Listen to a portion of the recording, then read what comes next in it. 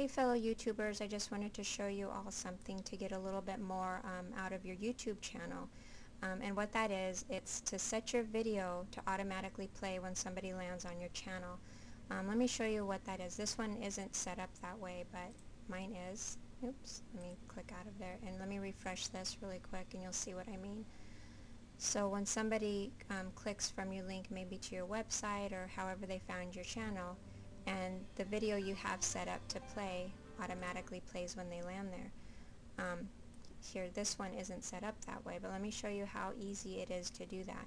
You come up here to video and playlists after you log into your YouTube channel and you see right here it says autoplay featured video and then you can choose whichever video you want to feature and it could be um, the one that you just uploaded um, or it could be a different one. Maybe you want to make a welcome video and explain what your channel is about.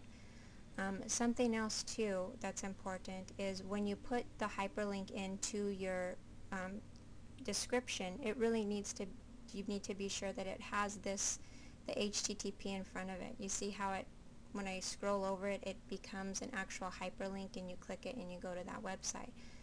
Many, you see here, that people will put this uh, in here and it doesn't actually become a hyperlink.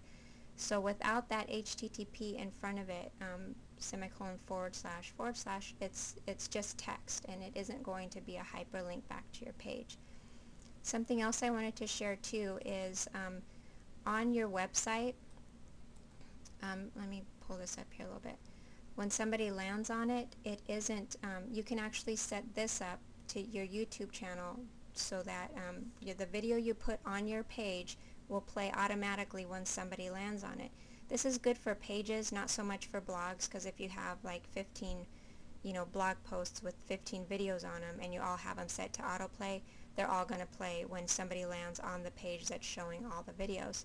So let me show you the code for that really quick. Um, here is a code for an embed for a YouTube video and if you notice this area right here where it says um, the little ampersand and the AMP and the rel equals 0, all that stuff, and it's in here twice, you need to replace it with the and symbol autoplay equals 1. Um, and that will set up the video when somebody lands on the page to automatically start playing. Let me show you what I mean here. Uh, let me refresh this page and you'll see this is one of my videos. See how it's set up to play automatically as soon as somebody lands on my page, that's just my little welcome and thank you video and all that stuff. So um, I hope this was helpful to you. Um, remember that it's important to have that HTTP and it's really simple to go in and create your video and set up your um, channel to play automatically. So have a great day and I hope you make use of that, that quick and simple tip.